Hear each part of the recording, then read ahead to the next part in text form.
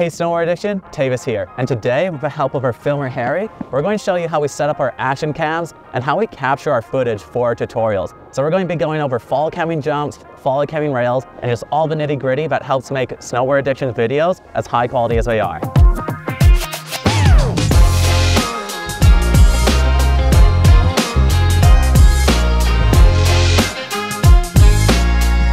Gear changes how you want to shoot. If you're using your phone, you want to switch to the 0.5 mode. This will replicate the action cam effect. This will work, but it's less consistent compared to using an action cam which is specific for sports. This is why we're rocking the DJI Osmo Action 4 here. We have this mounted to a long pole here. This allows us to get as close as we can to the rider whilst being safe. A few other accessories we're using here is a battery pack to keep the camera rolling for as long as possible and for a full day shoot. But you can use Osmo batteries which come in a handy rechargeable case which you can flip out and switch the batteries so you're never missing a shot throughout the day. And then we've also got these ND filters here. This basically adds a little bit more motion blur to the shot, making it a little bit more cinematic and look more professional. Majority of the time when we're filming snowboard videos, we're recording tutorials. So we want to make sure that we mic up the rider so we can get professional sounding audio.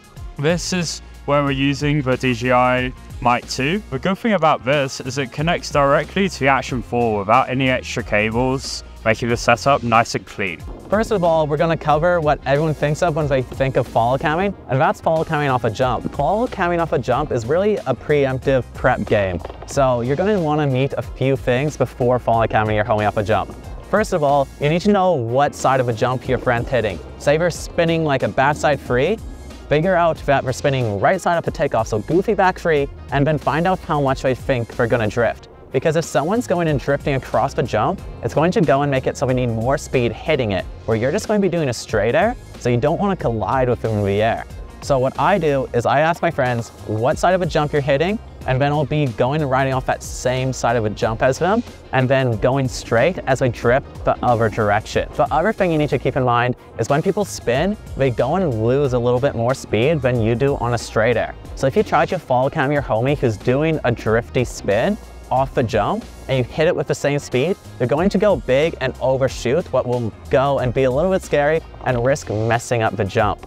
So what you want to do is get really comfortable the jump hitting sweet spot every time. That way, your pony will do their thing and you will stay as close as you can with them on the ideal track of a jump, hitting the side that they're on, so when they drift away, you can just float over, hit sweet spot, and hopefully keep them in the shot the whole way.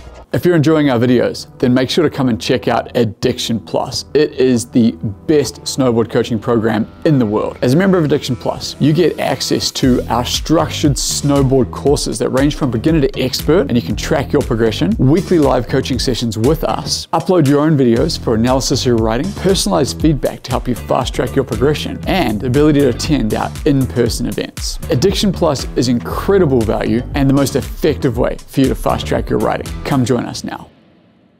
So another way you can film jumps is following off a roller instead of filming off a jump. This requires a slightly different approach because if you were going to ride over a roller at the same speed as the rider going over a jump, you will fly to flat. So here you want to change your angle of approach. As you're approaching the roller of a jump, try to stay towards the most right or left side depending on which side of a roller you're hitting. This allows you to carve to the center of the knuckle, increasing your travel time, so you're scrubbing your speed, but not losing too much speed so you can still track the rider and keep them in frame. This makes it quite an interesting shot, because as the rider comes over the jump, you will be like underneath them. Start slightly lower down from the rider. Before the rider sets off, set off like literally just a second before they set off, and let the rider ride towards the jump and follow them as close as possible and then you can track them as they go over the jump and then they'll be over the top of you and then tracking down to make sure that you get the landing. If they're spinning front side, you want to be on the right side of the rider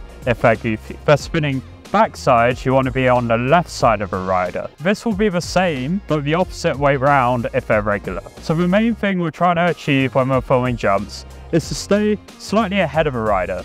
And when we're on the rollers, we want to get as much under the rider as possible. When filming rails, it is even more important to stay ahead of a rider because this will just make the rail trick look so much better. When I'm about to film a rider on a rail, again, I'm setting off slightly before them, setting my drop-in point slightly lower down. This will allow me to stay ahead of a rider and also, as a filmer, you have more control of putting speed checks in. As a rider will need to set their speed to perform the trick. Here now at a rail section, we're going to have the same approach as a jump. I'm slightly ahead of Taevis right now. This will allow me to shoot back at Taevis, giving the most interesting shot. You'll see as I ride through this section, I'm going to be doing small speed checks and quick head movements to make sure Taevis is in frame and I'm controlling my speed. And as a rider, I'm going to communicate with Harry what tricks I'm doing. So I'm going to do a gap to 50-50, a front board to a front lip. So both tricks will look better from the left since I'm goofy, so that's something I want to communicate to the filmer so they know what angle will look best when we shoot it. As a filmer, we can be making small speed checks all the time, and we also want to be making quick head movements, looking to check that we're not riding into the rail, we're also looking behind us to check that we're keeping the rider in frame at all times. Generally when I'm filming snowboarding, I like to keep the camera pointed towards the rider's hips. This will generally keep the rider in frame at all times. So that's sort of a consideration you can make whenever you're filming snowboarding. Keep the camera pointed towards the rider's hips and that will sort of guarantee that the rider is always in frame. I'm now going to run through some of our favourite settings we use when filming snowboarding to get the most dialed king shots possible. You'll see here that we've got the camera set to 4K 60. This allows us to capture the best resolution possible and also allows us to slow down the footage in the edit. You'll also see that we've got this set to 4.3, which basically gives us the most flexible aspect ratio to reframe the footage for use on Instagram and TikTok. If you're just filming for socials, you can use the nifty magnetic system. Here, it's super easy to switch from horizontal mode to vertical mode for when you're filming for socials. Now going into the settings dashboard, and switching to the Pro mode, we can adjust things such as exposure, white balance, and color. For exposure, we're following the 180 degree shutter rule. This essentially means that we're doubling our frame rates for our shutter speed. So we're shooting at 60 FPS, meaning that we need to adjust our shutter speed to 1 over 120. This gives the most true to eye look and gives a nice sense of motion blur. For this, it requires you to use these ND filters here to cancel out some of the harsh lights. You can also see that we've got the white balance set to 5500 Kelvin, and for our color mode, we've got this set to D-Log M 10-bit. This allows us for the most flexibility when color grading the footage. And finally, for the field of view, we've got this set to wide, allowing us to capture all the action. Follow camming is an awesome snowboard challenge, so keep pushing yourselves and get creative with it.